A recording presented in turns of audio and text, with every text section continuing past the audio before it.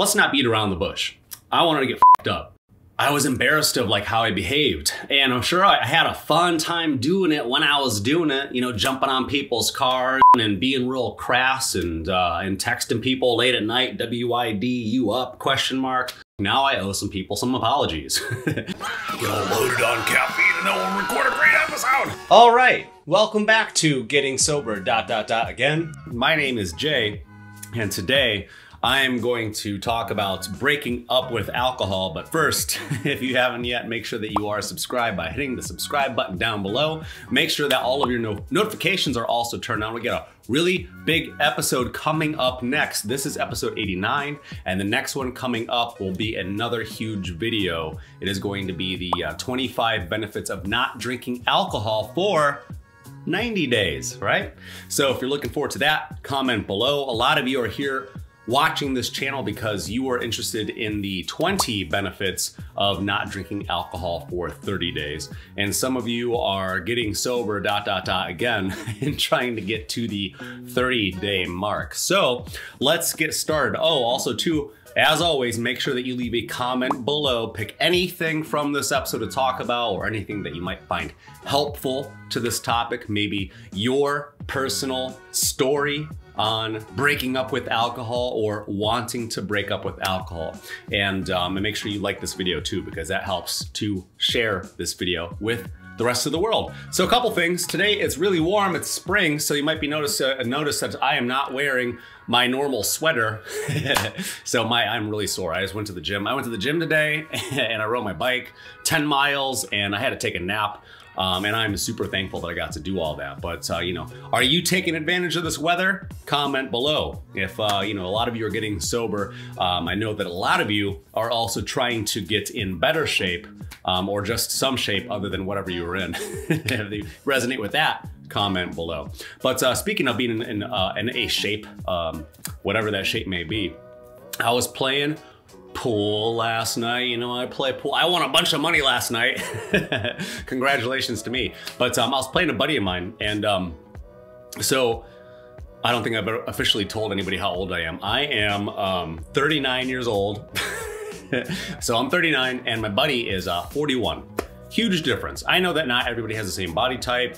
Uh, we all eat different foods. We come from different, you know, environments, whatever, gut microbes and bacteria and all that stuff, and yada yada yada. But um, so he and I only have a two-year age difference, and I weigh like 160. I'm like 5'11", 160, and uh, my buddy he is about, I'd say like the same height as me, but he weighs like 250 pounds. He's just got like a big gut and um, he's got the rosy cheeks and the puffy, you know, like the puffy eyes and the glassy eyes. Nicest pie. And he, he has a very successful business. He's married, he has a kid. I'm not married and I don't have a kid. But, you know, there are high functioning alcoholics, there are high functioning uh, people that smoke weed, there are high functioning, you know, addicts of all shapes and sizes and varying addictions, right? But I was talking to him last night and he was asking me, he says, uh, he said, hey Jay, uh, how come you decided to get sober? Because it's kind of like a thing, you know, like everybody's literally getting shit faced at the bar. They're coming back with rounds and rounds, and I just keep beating people and beating people. Then they go to the bar, then they get another drink to console themselves.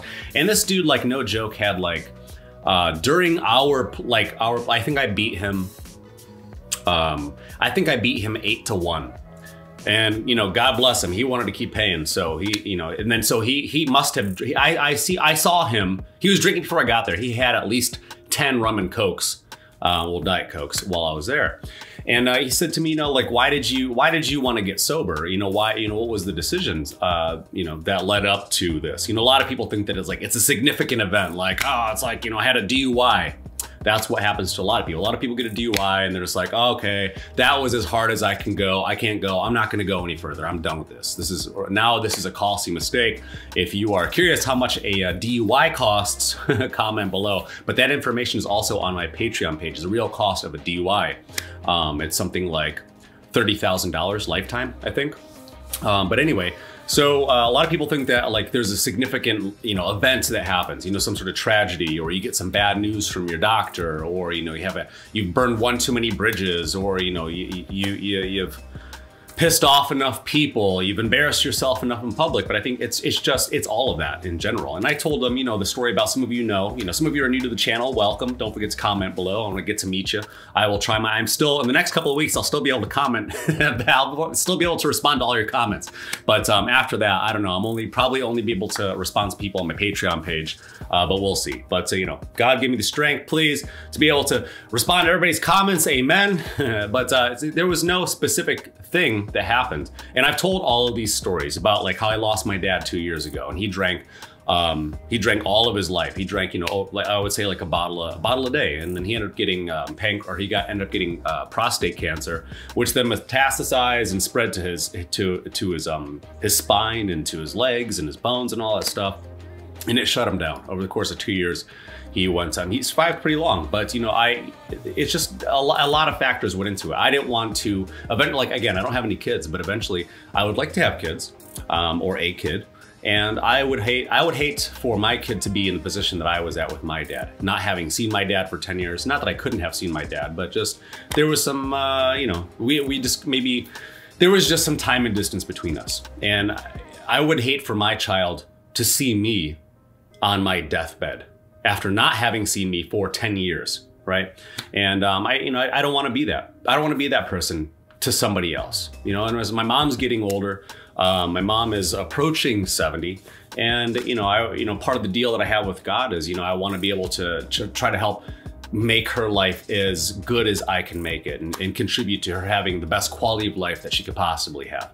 And I know that, you know, being a good son is something that is on my list and I'm sure that some of you resonate unless you uh, are wanting to be a good daughter or a good non-binary, whatever. But uh, I wanted to be a good, a good, you know, son, a good family member, a better friend. I wanted to play better pool. I told him that. I laughed in his face. I was like, you just keep drinking and drinking and drinking and you keep getting worse and worse and worse. I don't even know why you want to keep betting money, but I God, may God bless you so you can continue losing money to me. And, uh, you know, you know, I was telling him, I was like, you know, I'd be in here drinking, you know, I'd have like five shots of tequila and I'd have like five beers and then, um, and then I, you know, I'd be playing worse, and I'd be teeter tottering, and I won't be able to see. You know, it's it's important to have your hand-eye coordination. If you can't see very well and you're not very coordinated, you're not going to be shooting really well. And there were definitely nights where I would shoot so bad I'd be embarrassed, you know, in front of the people that were coaching me and teaching me, and I was like, oh boy, I thinking it's time for me to skedaddle. And uh, you know, so so I was trying, and I was hoping that that would hit home for him because he was telling me that he was getting to that point. You know, he's got a little, he's got a little daughter, and I think his daughter's like four and he's got a successful business. And he comes into the bar and he says, you know, like, I'm sitting here, I'm drinking, I'm drinking all these drinks, and it's just habitual and it's not doing anything. I'm not even getting the buzz. And you know, as I talk, I talked to him about the, the buzz and where I was when I stopped drinking uh, over five months ago. And I was just like, it just wasn't fun anymore. And I'm not trying to be a hypocrite. I'm not trying to, you know, uh, take this self-righteous position. So it's like, oh, you know, like I'm clean and so you, so should you be. But it's like you have to be able to make that decision. You have to get to that point. It's like you can watch all these videos, and I hope that you do. But you could watch all these videos over and over and over again. You could watch other sober coaches. You could read all the books that you want to until you decide that you want to be sober and get sober and do the things like I talked about, like the preparation, the three P's prep, practice, and patience, right? And then applying rest and recharging for your recovery, right? Those things are all very important until you decide that you're gonna actually make a real genuine effort you're going to keep having to get sober dot dot dot again. And then you're going to keep coming back and commenting on these videos and i don't mind. I don't care if you comment that you're a daisy or ogan there's no shame in it. But you care about you and i'm proud of you. And guess what? There's a whole bunch of us down here in the comment section too that are also proud of you. And i'm i'm like super proud of you. Like i kind of want to cry right now. Like i'm like really proud of you guys. Hold on a second. I'm really proud of you guys for hopping down in the comment section and being of service to other people. It really means a lot to me that you guys are taking this really seriously and that you're helping me. You're helping me do the thing that I can't do. I can't be there for everybody all the time. And I can't be there with you. If I could be, I would be, but I can't. So I depend on all of you. I depend on all of you to find your strength. I depend on all of you to be able to be of assistance to others whether it be in this community in this channel but just like in life like one of my one of my goals in life is to make this world a better place than i found it That's just my general philosophy of all things. You let me borrow something, I'm probably gonna clean it and I'm gonna give it back to you. I'm gonna polish it up and give it back to you better than I found it. That's just kind of how I roll. That's how I do things. It's like, I know what it costs. This stuff costs my time and this stuff costs my effort. And the only real currency that we have is time. And I already traded my time for these things. I already traded my time, sorry. I do have a tear. I traded my time for this this place that I live in and for this camera equipment. And I don't want to continue wasting my time or having to put more time in to get more money back because I blew a bunch of my money. And those are all things, those are all factors in why I wanted to break up with alcohol. And then to answer his question, so basically, I just wanted to shoot better pool. but you know, I wanted to be I want to be uh, more available to my friends and family. I wanted to remember the conversations. I want to remember the the good times that I had with my friends and my family. I want I wanted to you know like how many times have you said um, when somebody asks you like, did you have fun last night? And you go, yeah, I don't I don't remember. if you uh, resonate with that comment below. But there were so many times in my life where I just I was embarrassed of like how I behaved. And I'm sure I had a fun time doing it when I was doing it, you know, jumping on people's cars and and screaming and shouting and being real crass and uh, and texting people late at night, WID, you up, question mark. Um, I mean, I had a blast doing all that, but like now I owe some people some apologies and I probably owe some people some money. I'm not where I'm at financially because a bunch of that stuff literally, a bunch of that money literally went to the toilet. All the time that I spent doing, and a lot of you too comment, like a lot of you like are working, are also creators. Some of you are maybe stay at home moms. Some of you work in stressful environments, like you work at a restaurant, you might work in the back of the house as a cook, or you might work as a bartender or in the front of the house, and you work in a stressful position. And then the only thing, only bright spot that you have in your day is just to try to get a little quick buzz. And that's what I was talking to my buddy last night. Well, uh, you know, when I was going to the bar, I knew that like, let's not beat around the bush. I wanted to get fucked up. End of story. Like I wanted to get a buzz. Like I didn't want to just get a buzz. Like I wanted to get a buzz and I wanted to hang on to that buzz for dear life. And I wanted to ride that wave. Cause basically the, the contract, the social contract that we have with alcohol is, all right, alcohol, listen, I will agree to this to your suggestions and to the shenanigans that you want to get into, but I want something from you. I want to feel so good that I don't care. That I don't care about the ambitions that I had that I don't care about what it is that I want to accomplish in life. That I don't care about the fact that I'm failing out of school, or that I'm not gonna get this promotion, or that I'm gonna have to call off late again, or I'm gonna have to fake pink eye again, right? But there was a lot of embarrassing situations for me. There was like, you know, when I was in college in alcohol, you know, like I'd have like a, a final coming up or I'd have a project that I had to do and then alcohol would be like, so do you really want to do this project right now sober? Or do you maybe want to have a drink and think about it? And I'd be like, no alcohol. Last time that you said we were just gonna do homework, we wound up at a strip club and then alcohol's like, hey, hey, hey, we, I didn't know, I didn't make you go to the strip club. We went to the strip club. You're like, listen, I got homework to do. All right, I'll drink one beer. And then you drink a beer, and then you end up drinking another beer. And at the end of the night, then you're just sitting at home, not doing homework, or you sort of did the homework, but then you're like too tired to care. And then you're like too hungry, and you're like, now it's just, now it's just emergency food time. And then you're like, you're blowing off a bunch of responsibilities. Your work responsibilities, because like, like who, like, who cares? Legit question. Who cares about work? Right? Sober or otherwise. Unless you're passionate about what your career is, you're probably just working at a job. And do you care, like, hands up if you don't care about working at a job?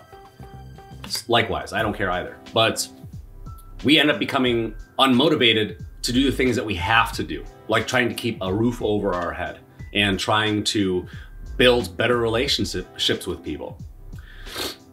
I found myself getting to a place where I wasn't consistent I wasn't reliable. I couldn't depend on myself. And if I couldn't depend on myself, why would I dare ask other people to take me seriously? How could I possibly depend on other people to want to spend time with me? Why would I dare ask anybody to trust me if I couldn't remember what I did last night or what I had said? And people were asking me about like, don't you remember saying that? I'm like, I don't remember saying any of that stuff. I don't remember doing any of that stuff. I don't even remember being there, frankly. Getting myself in situations. It's like no matter how nice of a person you are, it's like, yeah, I'm running this channel now, but there's somebody out there who's like, oh yeah, that's the guy that stole, came over to my house party and stole off the change off my dresser. uh, you're, you're gonna be that person for somebody. Yeah, like you're gonna be, you're gonna be an example of a bad time to somebody. There's somebody that's out there that'll see you in public and be like, hey, that's that that that guy over there that guy, that guy jumped on the hood of my car and then started acting like he was Rambo and started pretending like he was shooting all the other cars in traffic. There's ridiculous stories. There's always something stupid that you did. You maybe got in a verbal argument with somebody or you got in a physical altercation with somebody or maybe you're more of the uh, the modern era troll and you hop on social media and you're commenting on somebody or you send somebody a text message and just projecting all of your anger and your hate and your disappointment in yourself onto other people because they were part of your life and they chose to spend their time with you. So while they chose to spend their time with you, you maybe feel like you have to project the anger that you have within you because that person didn't help you get better or be a better person or didn't stick around for the long run. And is that their fault? No. But then it becomes misplaced anger and misplaced aggression. And is that healthy? Absolutely not. So why I decided to to break up with alcohol is because I, I had to. It was basically a toxic relationship. You have a relationship with alcohol, just like you have a relationship with your parents, or just like you have a relationship with your friends. A relationship with alcohol is no different.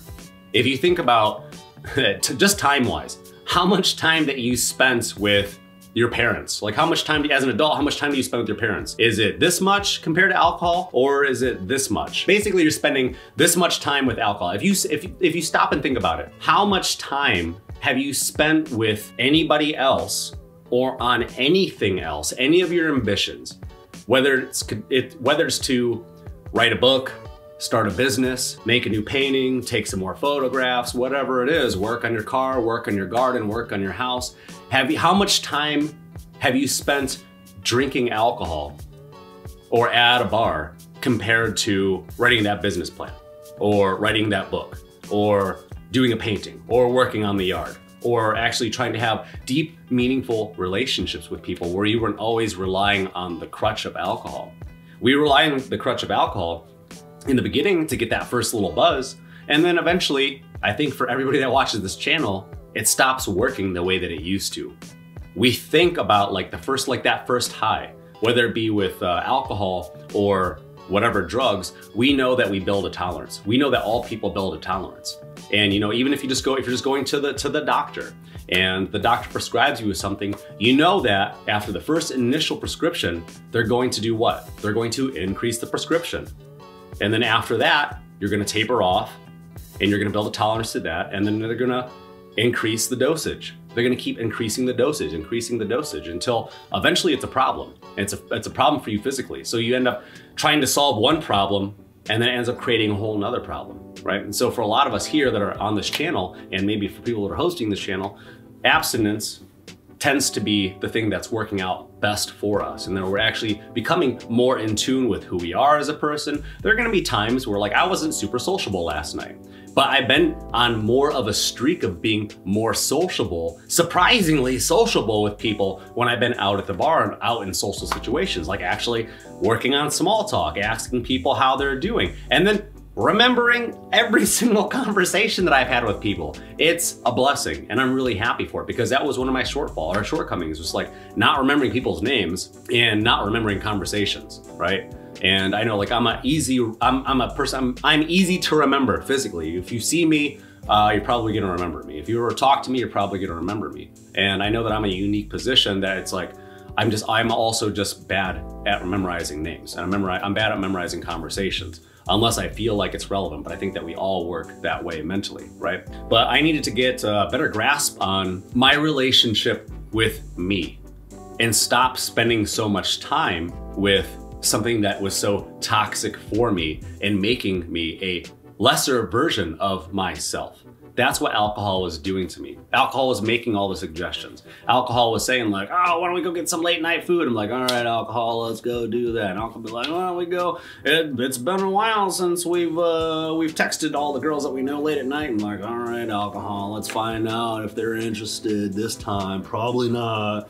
You know, like you end up putting yourself in like stupid situations. And then again, like I said, you end up having like owe people apologies. And this is definitely not the time or the place or the era for uh, getting yourself in sticky situations. So as we continue to grow, as we continue to blossom, you have to come to the decision and the conclusion that your relationship with alcohol is either it's either important enough to you to keep hanging on to that crutch and just know you are going to plateau. There's only so far that you can get with alcohol. It's not like one day you're gonna have an even better buzz than another day.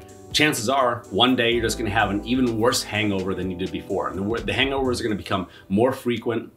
The dehydration is going to become just more real and more permanent. The ringing in your ears, the the soreness, the, the, the lethargy, that you're gonna have, the lack of energy, the lack of motivation, the lack of ambition, and you just keep trading it for alcohol. And like the real reason I believe that a lot of us drink is because like we don't want to, or we're overwhelmed with trying to make the extra effort of chasing our dreams and our ambitions. Because we think about it, we look at the whole stack of it, we look at the stack of our ambitions, and we think like, I don't even know where to start, and I don't know where to begin. But just like with getting sober, it, it starts with just one decision, one decision to say no to alcohol. And the next time you get a craving, say no again. Now you've got two no's under your belt. And then the next time you get another craving, say no again. Say no for a third time, and then the fourth time, and then a fifth time. And then some of you that are unfamiliar with the 100 no challenge, it's a little something that I invented. Uh, what you do, just download a counter app, something that you can count. Like every time you press it, it goes one, two, three, four, five. Um, download that, go into your app store, download that, keep that just like always running in the background. And then every time that you get a craving and you say no, count it. And then the idea is to get to 100 no's. So now you're preoccupied not so much with like, I have a I have a temptation and I have FOMO and my friends are gonna be out and I wanna go out and I wanna drink and I just wanna I just wanna drink and I just wanna get that buzz. I wanna feel I a really shitty day and I just wanna feel better. I wanna feel better a little bit. And you say, no, just say no and count it. Now you have the power of saying no. You have the power over alcohol. Now you're preoccupied with counting no's instead of getting the buzz. You're getting the no's instead of getting the buzz. And then a hundred no's later, you comment below on any of the videos and say, hey Jay, I did the 100 no challenge and it turns out it took me seven days to say no 100 times or it took me three days to say no 100 times or it took me two weeks to say no 100 times and I've been so preoccupied with saying no instead of being preoccupied with the fact that I can't drink, that now two weeks has gone by and I've been sober. And this is dope. I have not been sober for two weeks in a really, really, really long time. And I think that I'm truly ready to break up with alcohol. But that is a decision that you have to make. You have to make definitive statements like, I am not going to drink. I'm not going to drink this weekend. Or a super powerful one is, I don't drink anymore. I don't drink. Try it. Just say it. You probably haven't said it. just right now, just say like, I don't drink. I don't drink. Practicing. You know, if you like think about like if you were gonna go to even a big job interview, we just go like, I have a big job interview. It's really important. I really hope that I get the job. Okay, now I'm just gonna watch TV now and not even think about it. I'm not gonna mentally, you're not gonna mentally prepare for the job interview tomorrow. You're not gonna have uh, references sitting in front of you. You're not gonna make sure that you sharpen up a, a final, super final draft of your resume. You're not gonna uh, put together a little presentation and talk about, have talking points about what you're gonna say to try to get that job. You're gonna project what you think that, what, who you think you're gonna be sitting in front of trying to concentrate on the details. What are you gonna wear tomorrow? What am I gonna look like tomorrow? How am I gonna prepare for that? What, am I, what am I gonna have for breakfast? How much coffee am I gonna have? uh, you think about the drive. How long is it gonna be to get there? What time will I leave before I get there? And if you apply that same preparation to getting sober, you would have much better success. That's what I keep trying to encourage you into doing when I talk about the preparation, when I talk about trying to get the alcohol out of your house and trying to be transparent, and not trying to, but just doing it. Being transparent with your close friends and your family members, maybe your significant other, and say like, hey, I'm not, I just made a decision. I'm not gonna be drinking this weekend. Not at all. Uh, so don't tempt me. I don't wanna do it. I need to cleanse. You know me, I've been drinking a long time. I'm sure you and I are both smart adults. You and I both know that I'm not, not neither, neither one of us are doing ourselves a, a service here by drinking. We're rotting ourselves in, uh, we're rotting ourselves from the inside out. So be transparent, prepare yourself, put book your whole schedule with your free time. It's like, yeah, nobody wants to come home from work and then do a bunch of work. But also at the same time, too, it's like, wouldn't you like to know that you've earned your sleep instead of just like time traveling with alcohol to the point where you just don't give a shit anymore? And you're so tired that like now you're just eating emergency junk food at the end of the night. So now, not only did you just consume 800 or 1,000 calories in alcohol, but then now you're, you're having a late night snack that's 1,500, 2,000 calories, fried food, french fries, hamburger, pizza, whatever, pizza rolls, Hot Pockets, whatever emergency foods around, and then you're up tacking on more weight. So it's not, on, not only are you limiting yourself on a daily basis from getting to scratch off any of your to-do lists or any of your ambitions, but then you're gaining weight while you're at it, you're diminishing your health while you're at it, you're guaranteeing that you're gonna have huge medical bills in the future, and that also too, you're, you're not gonna be the person that you wanna be in the future. So it's all about making better decisions instead of worse decisions, one at a time, and altering your trajectory from where you're going to where you want to be. So I wish you good luck on your journey. Don't forget to like this video and don't forget to leave a comment for me or somebody else. And I will see you in the very big and very important next episode, number 90, the 25 benefits of not drinking for 90 days.